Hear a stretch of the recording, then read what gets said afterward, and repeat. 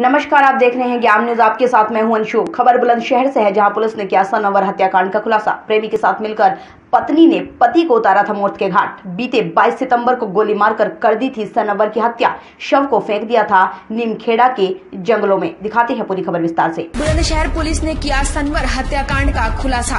प्रेमी के साथ मिलकर पत्नी ने पति को उतारा था मौत के घाट। बीती 22 सितंबर को गोली मारकर कर दी सनवर की हत्या। शव को फेंक दिया था नीमखेड़ा के जंगलों में। मृतक की पत्नी शिवा के मुजाहिद से थे अवैध संबंध। करना पति को मौत की नींद सुलाकर करना चाहती थी प्रेमी से शादी। बीते दिनों सनवर ने मुजाहिद को शिवा के साथ आपत्तिजनक स्थिति में पकड़ा था। मृतक सनवर ने भी कर रखी थी दूसरी शादी। शिवा ने लगाया रोज मारपीट का आरोप। शिवा संपत्ति हासिल करके मुजाहिद से करना चाहती थी शादी। स्वाट टीम और कोतवाली देहात पुलिस ने किया हत्या का खुलासा। हत्या के आरोपियों को गिरफ़्तार कर भेजा जेल। खुलासा किया था क्या पूरा मामला किस तरह से हत्या की गई? ये दिनांक 22 सितंबर को रात में करीब 9 बजे के आसपास कोतवाली देहात थाना क्षेत्र में हातमाबाद निवासी सनवर की गोली मार के हत्या कर दी गई थी।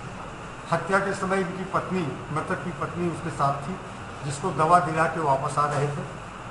और इस प्रकरण में बहुत गहराई के साथ हमारी स्वास्थ्य टीम और थाने की पुलिस ने प्रयास किए। प्रयास करने के बाद बहुत सफलतापूर्वक घटना का अनावरण किया।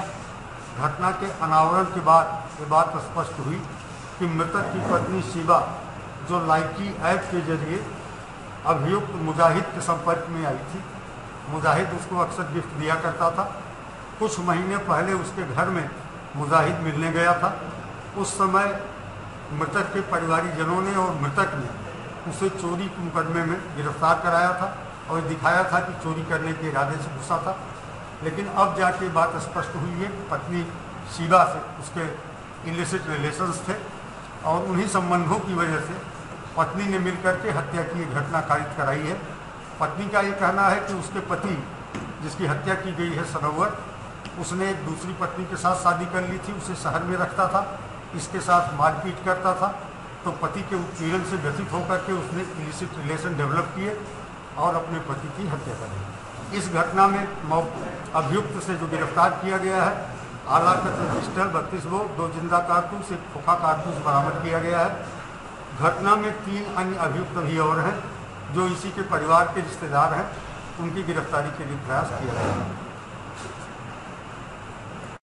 अपने आसपास की छोटी बड़ी खबरें देखने के लिए हमारे चैनल ज्ञान न्यूज़ को लाइक व सब्सक्राइब करना ना भूलें। साथ ही बेल का आइकन दबाएँ और अपने सुझाव हमें ज़रूर दें।